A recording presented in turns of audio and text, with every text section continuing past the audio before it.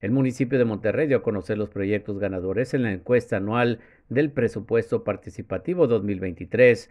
De los proyectos ganadores, cuatro son de seguimiento de obras que fueron seleccionados durante el primer presupuesto participativo. Además, se distribuyeron cinco para movilidad sostenible, seis para deporte y cultura, siete para servicios básicos y doce para desarrollo urbano sostenible se informó que las obras del primer presupuesto participativo llevan un avance global del 35%.